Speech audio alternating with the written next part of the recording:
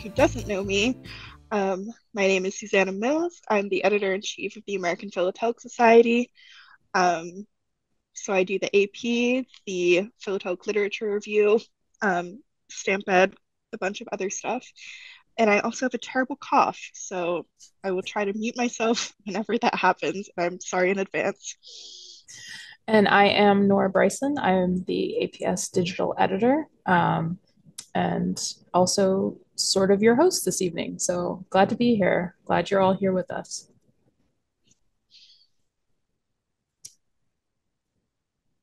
Okay, um, we have a question. Um, will we be able to share our screens? Panelists will be able to share your screens. Um, will you'll also be able to be on camera and talk if you'd like. Um, there are several people who sent things in in advance. Um, if you are one of those people and you're here tonight, if you could just throw in the chat whether or not you'd like to be on camera or speak, or if you'd like us to cover your material for you, um, whatever you'd prefer. Uh, but yes, anybody who um, would like to share and would like to share your screen, you'll be able to do that once we make you a panelist. And we'll also go over um, some small details once uh, everyone has filtered in and everybody has shared whether or not they would like to um, whether or not they would like to share. I may have to relaunch the poll. Oh, no, looks like it's all good. Um, anybody who's just coming in, uh, we have a poll up. Just let us know if you'd like to share something during the show and tell. I know a lot of uh, a lot of people really enjoy sharing their stamps. Um, this may be the first time, or at least the first time in a long time, that we've done a show and tell kind of experience with the APS. Um, so for us, at least, this is a bit of, of an experiment. Uh, so bear with us. We're going to figure out what's what works, if people like it, and um, possibly do this again in the future. Should I get us started now? Yeah, that sounds like a good idea. Okay. So I'm I'm the guinea pig. I'm going to go first. Um, and I have my material. Um, I took some scans earlier of just a few items, which I will share now. So here are a few items from my collection. Um, so as you can see here, uh, I've been collecting skulls, skeletons. Um, really, I'm drawn to anything kind of spooky, but the skulls and skeletons are what really get me excited. Um, so here on the top left, we have from Poland. Uh, this is a 1984 issue, uh, The Ecstasy of St. Francis of Assisi by El Greco. Um, so that was painted back in 1580. Um, actually, so like when you look it up, there are about a hundred different versions of this painting um, because he kept on getting commissioned to paint it for a bunch of different churches. Um, and this one specifically uh, was an unknown painting until they uh, kind of uncovered it in 1966 in Poland. So th- I would guess this is one of the more recent ones that have been uncovered. And we've got a little skull in the corner. And I also think this looks like a skull kind of cloud, though I could be persuaded otherwise. uh, from Hungary, uh, this is a 1975 environmental protection issue. There are several in this series. Um, and there's actually another one that I am going to search out that also has a skeleton hand called Stop Pollution. Um, so I have another added to my list. Of course, here uh, we've got the Jolly Roger, um, which was bizarrely included in a Great Britain, excuse me, talking with a cough is going to be very obnoxious, so I appreciate your patience. Um, a 2001 issue from Great Britain, um, and it was included in a flags and ensigns issue with like actual Great Britain naval flags. Um, so I wasn't aware that the Jolly Roger was um, a naval flag, but for some reason it was included there. Uh, here we have a semi-postal from the Ukrainian Soviet Socialist Republic in 1923. Um, this one is called Famine, and it was a semi-postal series intended to raise uh, money against against famine. And there's another stamp in this issue as well that has um, uh, the the death, the kind of Grim Reaper character pictured. Here from Slovenia, this is a single stamp. It was actual. It was actually two issues, but this is just one of them. Um, and those two issues depict part of a very long fresco that was um, the Dance of Death fresco. So essentially, um, this Slovenian church uh, had a bunch of surviving medieval frescoes on the walls that they were able to restore that were painted in like 1490. Um, so essentially, it's skeleton and then the king, and then a skeleton and the queen, skeleton, the bishop, skeleton, a burglar, um, a child, like a, a pregnant woman, all these different people from society. And the idea is that they're all kind of marching to the grave, which is um, very dire and exactly what I enjoy looking at on a stamp. Um, and then finally, here we have from Kenya. Um, this was from a series, The Origins of Mankind, and had uh, fossilized skulls. Um, so there are three others from this series. Yeah, and that's just a few from my my Grim Reaper Death Skulls and Skeletons collection. Well, and now you, you can tell me in the oh. chat if they're cool or not. or too spooky.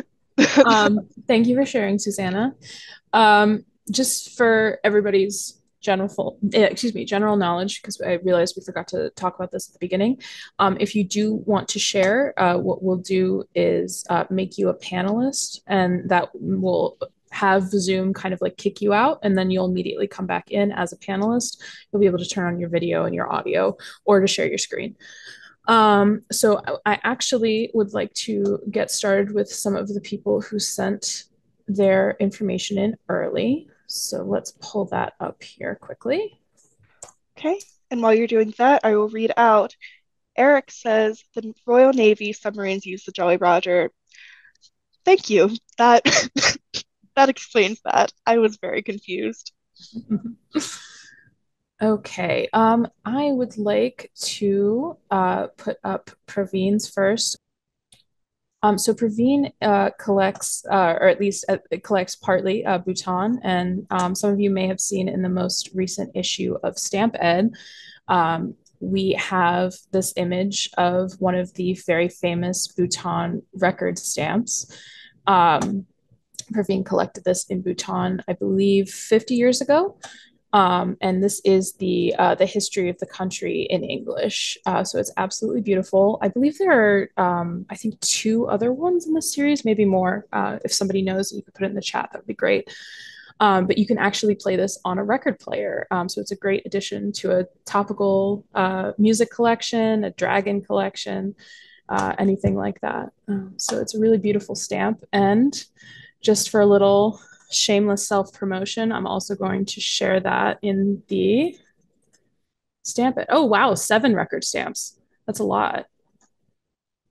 They're really beautiful stamps. If you haven't taken a look at them, they're they're amazing, and you can put them on letters, which is wild. Um, so this is Stamp Ed. Oh, did I skip past that page already?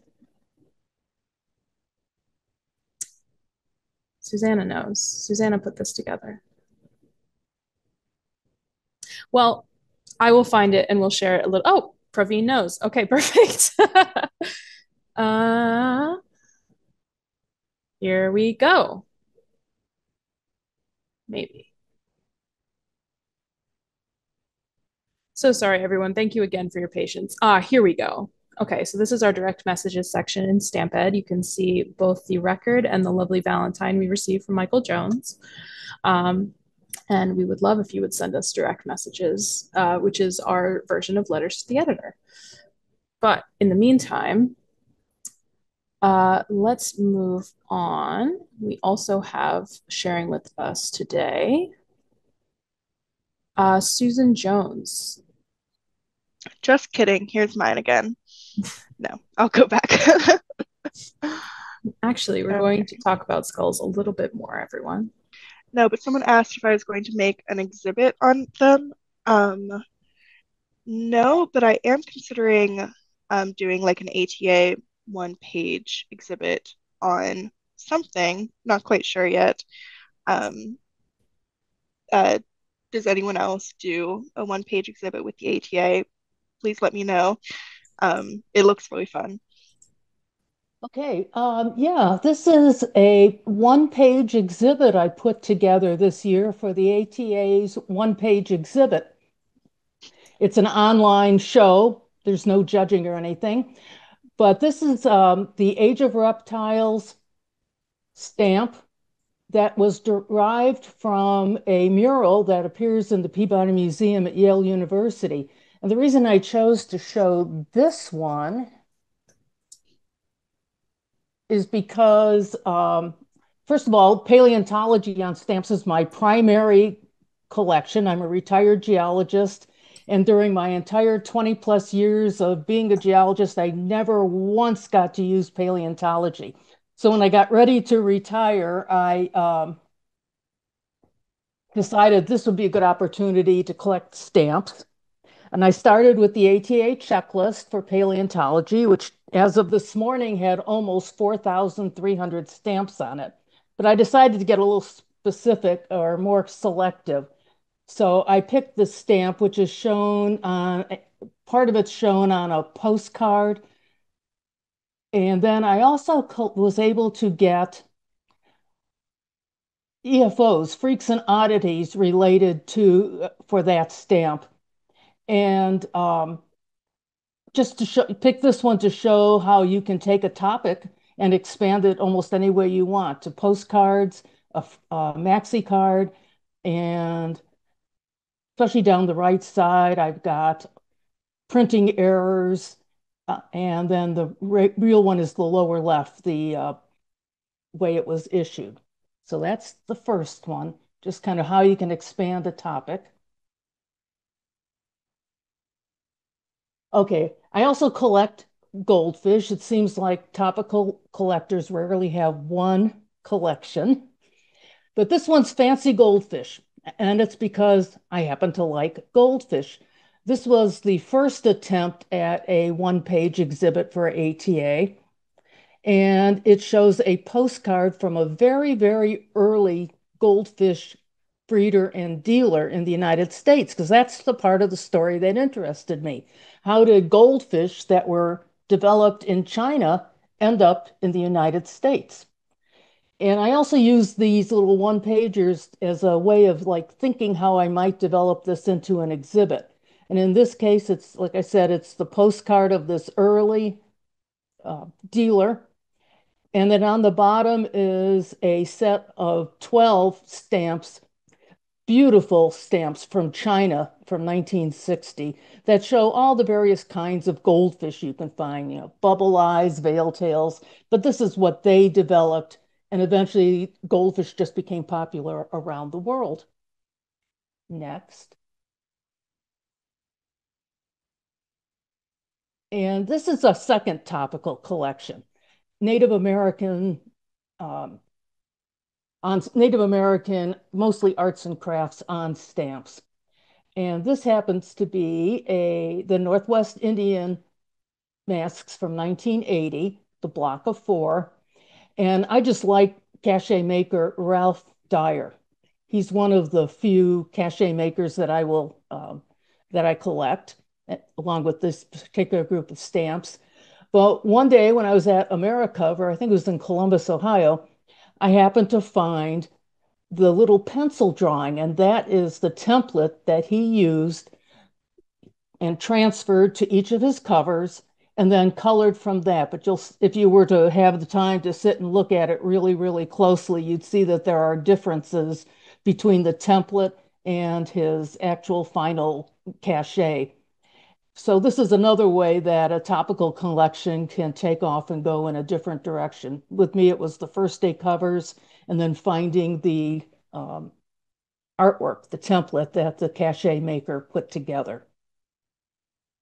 So that's, and this is again another way to take a piece of something out of my collection and research it and write it up so I know what I have in my collection.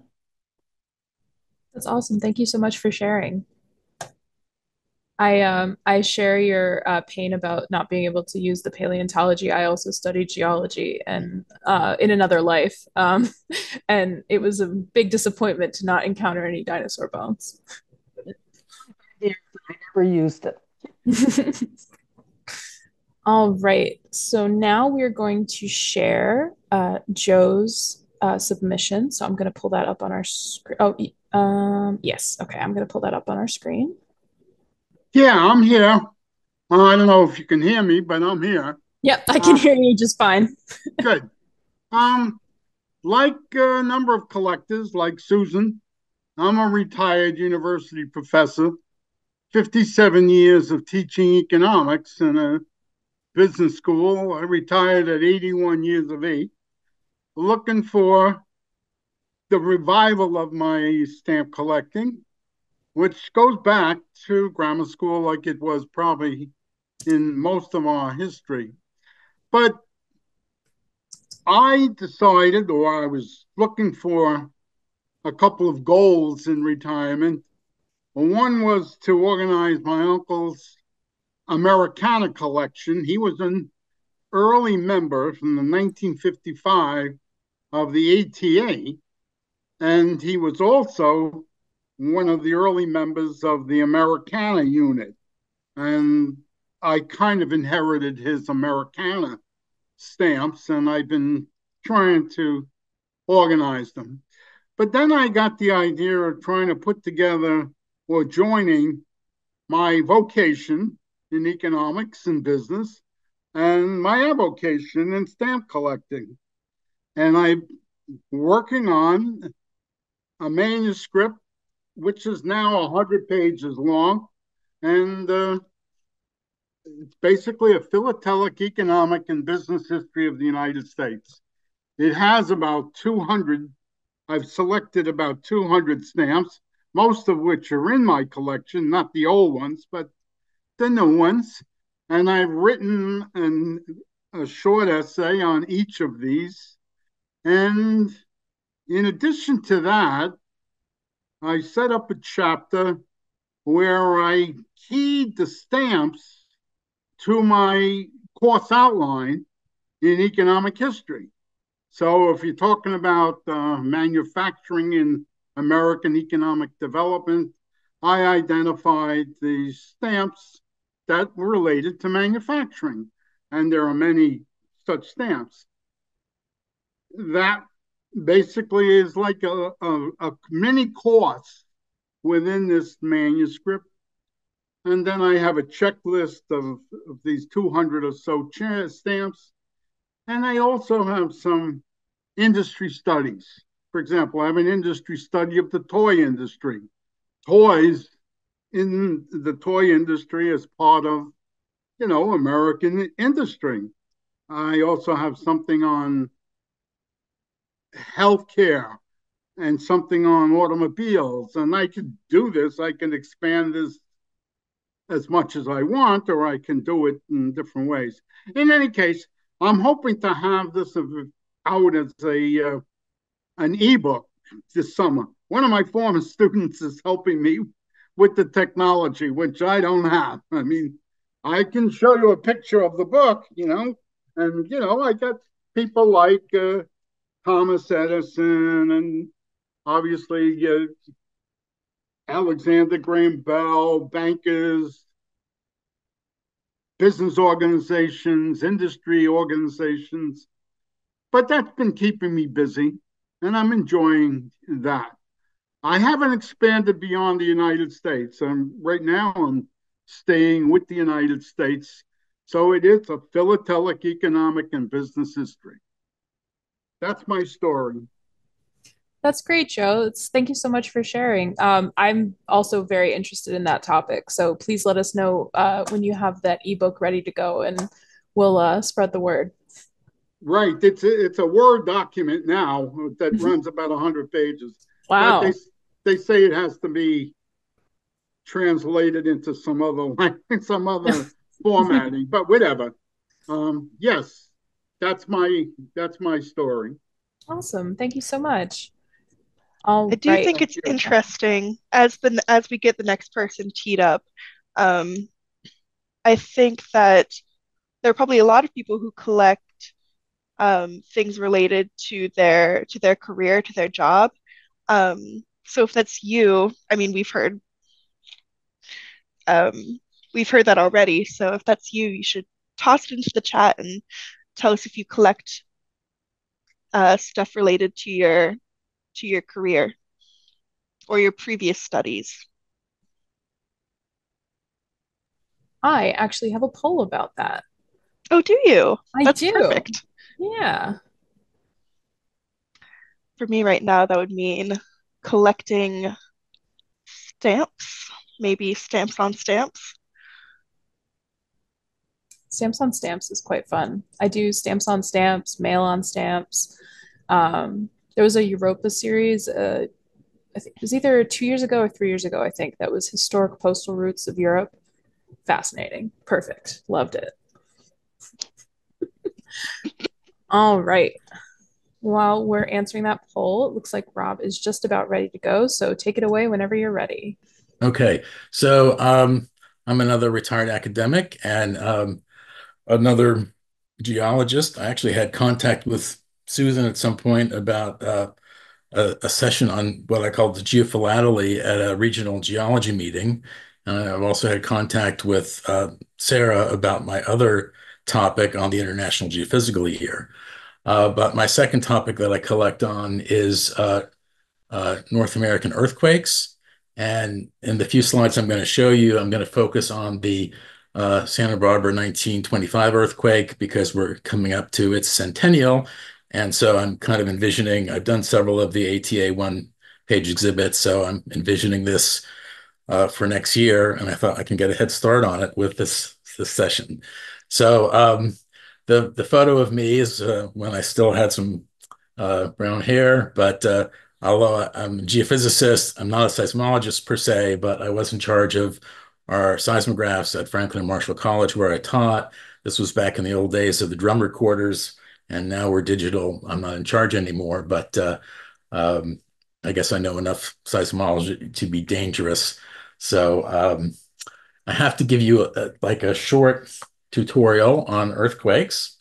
Uh, so uh, first of all, you can tell me whether you think this is a topical collection or not. Uh, there's no United States postage stamps on earthquakes or any other natural disaster.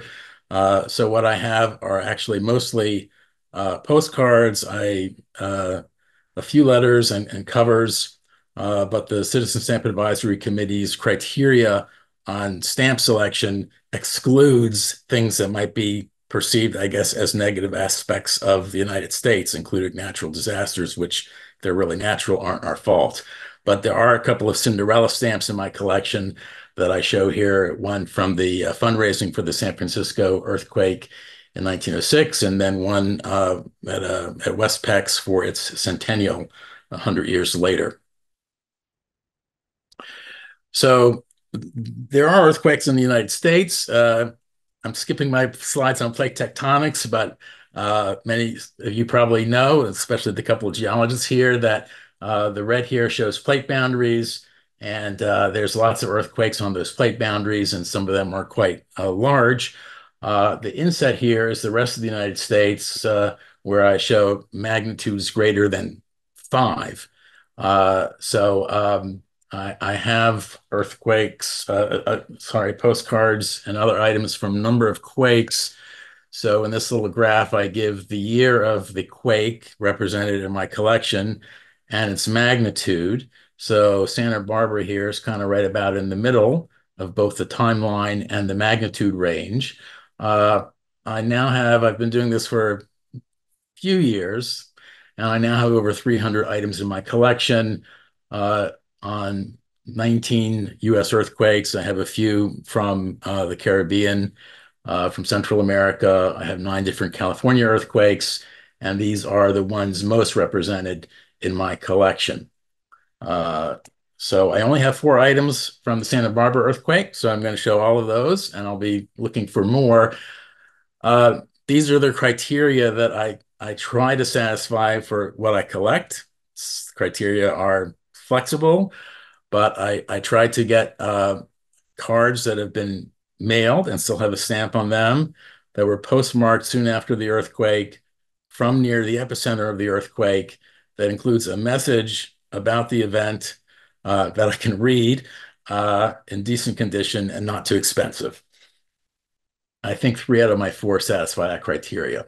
So I don't have to read all this text, but the earthquake happened kind of north of LA, near Santa Barbara in 1925. Uh, its magnitude was 6.8, uh, so that's moderately strong. The intensity, which reflects how much damage was done, was Roman numeral 9. That scale goes up to Roman numeral 12. Uh, so many of the buildings in downtown uh, Santa Barbara were destroyed or badly damaged with a fair amount of damage. Uh, 13 people died. So that this puts it as one of the 10 most costly earthquakes in United States history. Um, I do have a picture I'll show you about the Mission Santa Barbara. Okay, so four, four items to show you. The stamps aren't anything really special. So to me, this is a topic, but whether that is considered topical collecting, you can you can argue that with me. Uh, but first is a real photo postcard. Uh, this was a popular genre of uh, postcards in about the first 30 years of the 1900s. There was a the, the, there was a Kodak camera that came out in 1903 where it actually uh, developed pictures onto postcard stock. And some of these have been mailed. Lots of them just went into people's scrapbooks, but this one was mailed. Uh, remember that the date of the earthquake was, what did I say, June 29th? Uh, and this postcard went out about a month later uh, from Santa Barbara uh, to someone in, uh, I guess that's Oakland, I think. Uh, the stamp is upside down. I don't know if that's a distress signal or not. here's the message. Uh, I'm not sure if this is a message about the earthquake. Everybody fine might mean they survived the earthquake okay, or it could mean something else. Not so sure about that.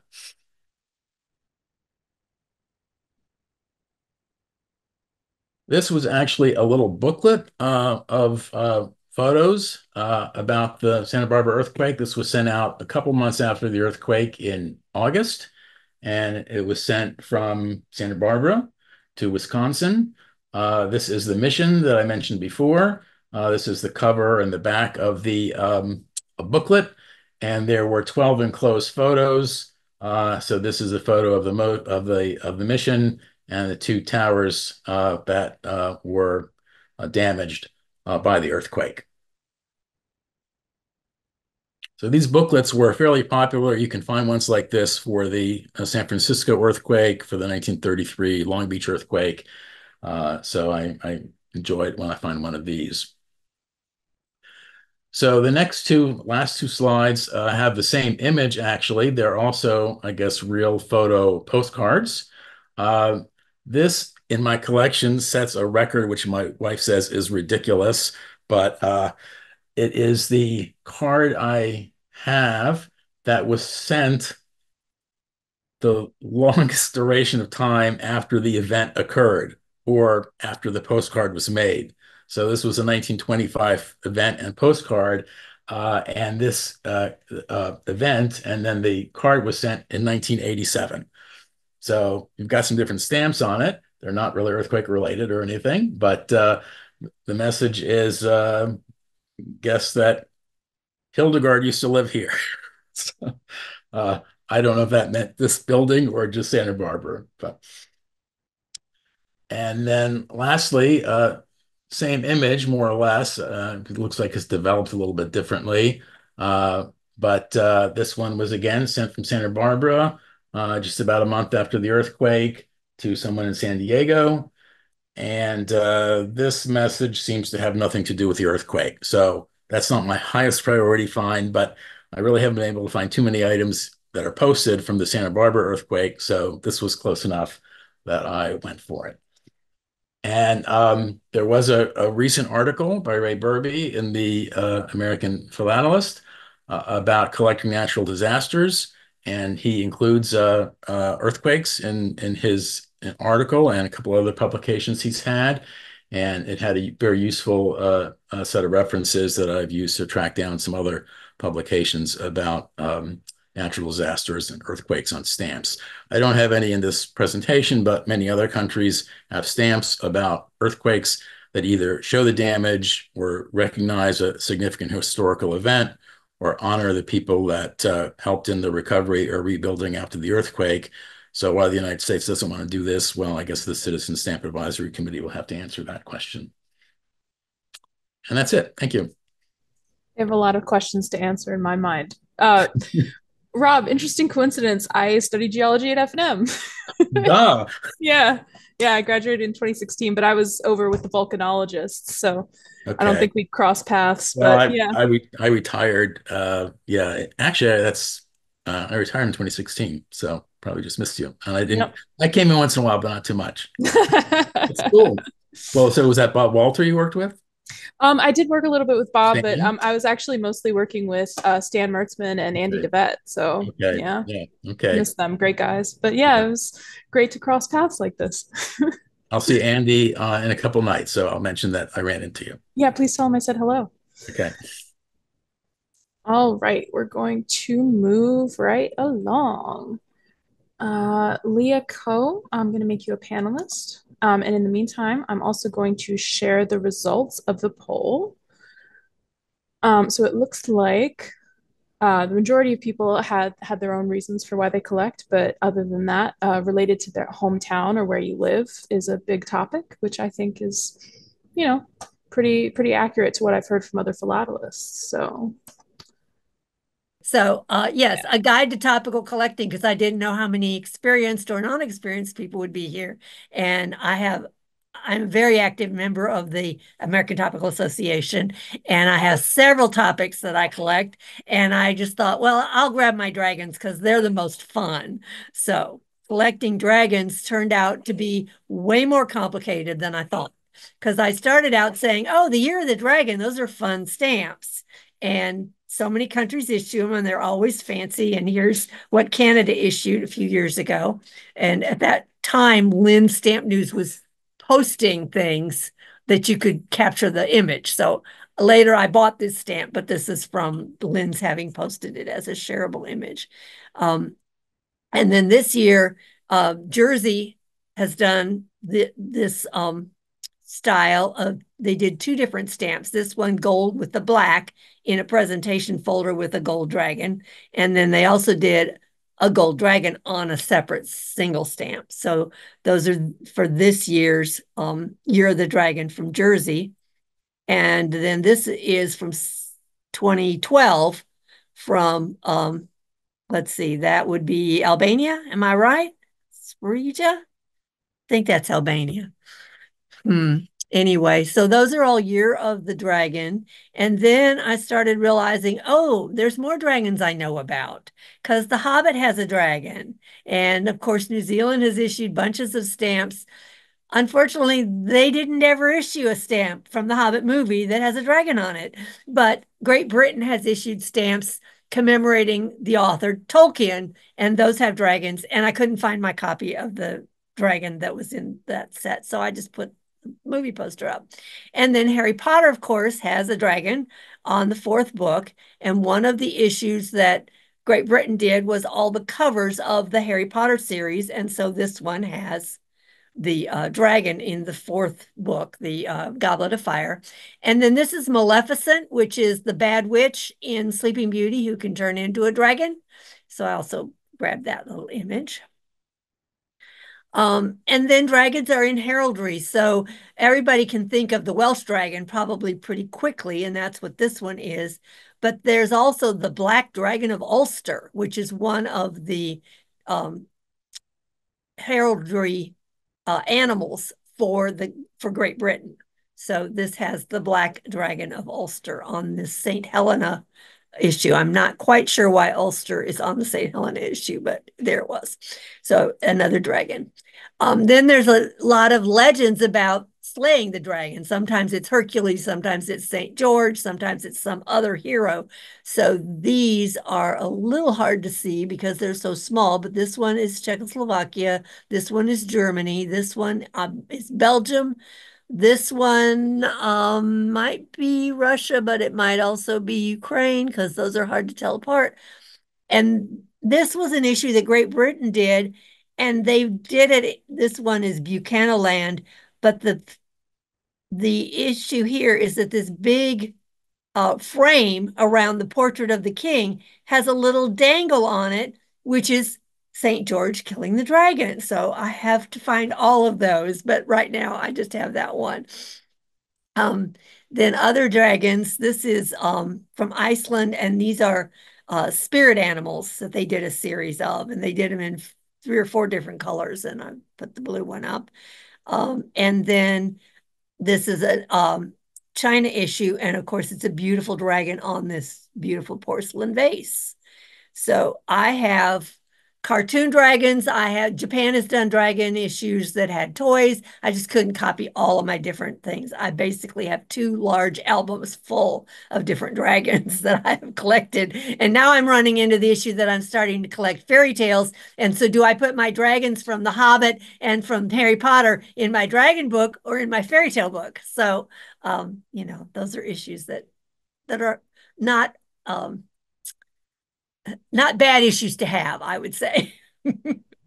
yeah, I was running into the same issue myself earlier today, trying to decide where to put um, things that had both buildings and flowers on them. Remarkably, there's a lot of those. Um, oh. but speaking of uh, of issues to have, I do. Oh, have... good idea, Sarah. Two issues of each. oh, yeah, that's like the that. that's the good solution. Um, and hello again, hello to Sarah, who, uh, by the way, is one of our wonderful authors at Stamped. Uh, you should definitely check out her articles. Uh, she's been in both issues so far. Uh, but we do have another poll up in the chat, which is a question that I have all the time. Um, so I would love to know what everyone thinks about it. Um, is there anybody else in the uh, in the webinar who would like to to share their stamps? Because if not, we can close out uh, with mine but we don't we absolutely would love to uh would love to share anybody else who has things to to share with us. On the poll um i'm i think i'm landing on personally only collecting the stamps that are part of my topic um, when i was looking through uh, some of the ones that i don't have yet that are you know from the same set i was not interested at all in the other stamps of the set. So we'll have to see how the poll ends up, but that's my opinion at least. I see you have a prop, Foster. I love it. quick, quick background my family is really into minions. And for one year at Christmas, they got three minion uh, greeters, these are called. And my nephew insisted I have one, and one of the neighbors had a 10 foot inflatable Olaf they looked at every night. So they got me one. So I figured I, one day I was searching on eBay for something and found an Olaf stamp. And every once in a while I accumulate them. And this is a quick PowerPoint put together in, the, in about the last 10 minutes. So I'm going to move Olaf out of the way. Can you folks see, see the PowerPoint? Yep. This, it, these are some of the random stamps that uh, show Olaf. This is a souvenir sheet from the Republic of Benin in Africa, where I doubt they have any snow, or I doubt, I don't even know if they, they show, show Olaf movies there, but uh, I have this as in this souvenir sheet and three more trial color proofs of it. And on, on the right stamp, there's Olaf uh, hanging on. Next, we have a souvenir sheet from Chad, again, another African Republic. And my, my main interest is first day cover, so I, I really like this one. I found it on eBay. And we, we have two copies of Olaf on this one, one in the upper corner and one on this stamp here. Whether or not they made it to, Chad, I don't know, but I really don't care because had Olaf on it. We have a uh, personalized souvenir sheet. Uh, this one is from Israel. There's also a similar one for, for from Australia, but, but I couldn't find the uh, scan of that very quickly. And one of the personalized stamps, there's Olaf once again. Uh, this is a combination Disney one of, of Frozen and Cars, but I liked it for Olaf.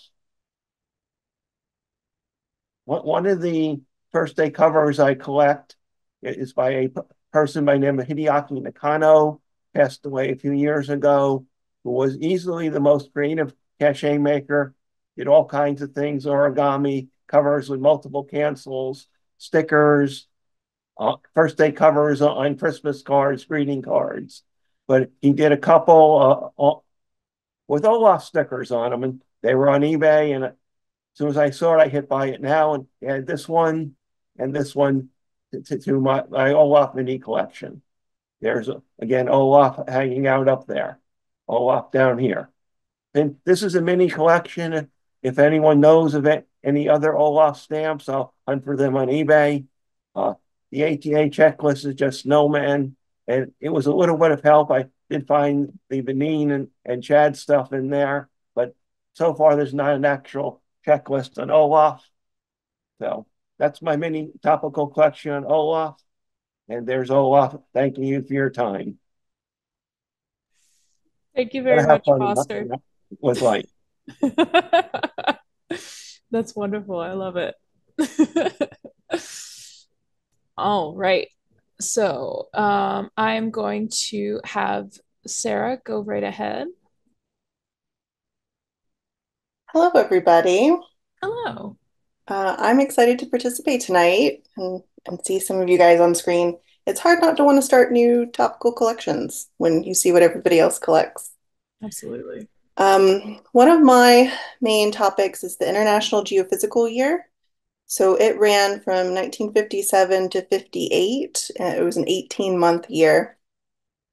And 67 countries participated. And I feel like for such a large international endeavor, um, it's kind of left uh, common memory pretty quickly. So um, I guess Rob and I are trying to revive it um, so this is a, I'm, I'm very low tech today. This is a cover uh, that I used for my uh, one page exhibit, um, ATA one page exhibit uh, this year. It is signed by the president of the special committee that put together the International Geophysical Year endeavor. Um, but one of the things that I enjoy most about the event was that um, it, it literally spanned the globe. So here is a cover from the world's northernmost community in Svalbard. And then one from the South Pole as well. So literally covering the whole planet. Um, there were 11 different um, sciences that they were researching during this endeavor. Uh, and the, the ones that interest me most are uh, related to um, early pre-NASA uh, space missions. So one of the things that I, I try to seek out are the rocket covers. So this is one of the rocket covers that the US flew on the first day of the geophysical year. It says it went from mm, Douglas County, Nevada to Topaz, California, and it's postmarked in, in Topaz up here. That's it. That's all I had picked out. That's awesome. You had me immediately with the with the two the polars because that's one of my that was like my biggest topical interest. I love polar philately. So it, uh, it seems like a lot of um, uh, dealers store the geophysical year stuff with their polar history. So I've I've learned a lot about it through the polar history study groups and and that kind of angle. But it's the the rocket science that, that interests me most. Very cool. Just another uh, shout out. Definitely check out Sarah's articles in Stamped. Uh, particularly love uh, the one in the uh, new issue, the po- finding the postmaster of Earth, or I forget exactly what we ended up calling it, but that's the gist of it. Uh, great article, loved it. Thanks. Oh, great. I think we have uh, one more. Uh, Jeff, um, I'm not sure if you want to be on camera or not, but I'm going to share my screen so we can see your wonderful exhibit here. Jeff is our senior editor at the American Philatelic Society. It's not um, nepotism, it's just friends. um, and he collects a lot of stuff. Um, I think his most recent article um, that he did for the AP was um, about the night train. And then he did an article about um, New York State Fair at Syracuse. Um, so I, you know, I, I live in Syracuse, uh, long time hometown, really, and I uh, collect Syracuse items. But this is from uh, I enjoy eating. Uh, so uh, I started uh, collecting topicals, uh, fruits and vegetables. That led me to, and it's like, okay, that's cool. And um, I just, I just actually, for once, I uh, tailored the food stuff to just breakfast. So this is just one page out of a, a breakfast, a one, uh, one panel uh, breakfast philately for breakfast uh, exhibit I did. Uh, I want to redo it. Um, I showed it at Scopex a few years ago. Uh, and uh, Ken Martin in particular, and he pointed out a few things I could do to improve it. Um, so, but I haven't redone it yet. But anyway, so this is just simply the hash browns and home fries page from the exhibit. And uh, I had this kind of fun um, old time 1937 uh, event cover that uh, pays tribute to that area in West uh, Virginia or West Virginia. Uh, their potato page, and then uh, at the bottom are a little more, uh, you know, different. They're uh, revenue stamps, but you don't see them used because the uh, uh, law went to, into effect to use these stamps uh, in 1935, but before they could be used and go into effect, the, the law was canceled. So you, you pretty much only find these stamps mint. I don't think that's all of them. I again, when I started started out there's some others. So this these were revenue stamps for different poundage of uh, potato bags, I guess. Um, so anyway, so that was uh, just kind of a topical.